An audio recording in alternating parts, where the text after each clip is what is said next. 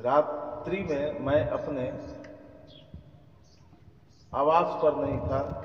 आवास कहिए आश्रम कहिए कुछ लोग आश्रम कह देते हैं। हालाँकि आवास है मेरा और मैं रात्रि में नहीं था। गेट बंद था। रॉकी जो है मेरा, अकेला था। हम, अभी सुबह हम आए। तो जैसे आप किसी बच्चे को छोड़कर घर से बाहर चले जाते हैं, आप पुनः जब आएँगे तो बच्चा आपको देखकर एकदम व्याकुल हो जाएगा। वही हाल इस रोकी का है। पहले तो आया, पूरा मेरा खबर लिया हाल चाल जाना। आप कहाँ चले गए थे छोड़ के? और जब मैं यहाँ कुर्सी पर बैठा, बड़ा प्यार से यहाँ तक आया। और फिर मेरे कदमों में देख लीजिए, सो रहा है। अब इसको लग रहा है कि फिर हम इसको छोड़ के कहीं नहीं चले जाएँ। कितना प्यार करता है रोकी हमसे।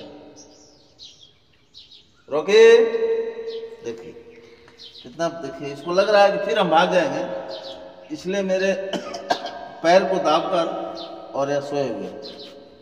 हम नहीं जाएँगे नहीं जाएँगे। ठीक, ये है कुत्तों का स्वभाव और इसलिए जो है, कुत्ता बड़ा वफादार जीव होता है। इसको मारना नहीं चाहिए, इसको सताना नहीं चाहिए।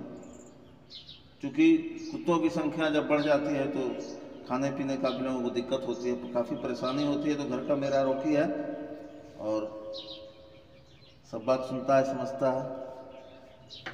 मेरी गाड़ी को 500 मीटर दूर से पहचान लेता है। हाँ ठीक पहचान मेरा हॉर्न तक पहचानता है।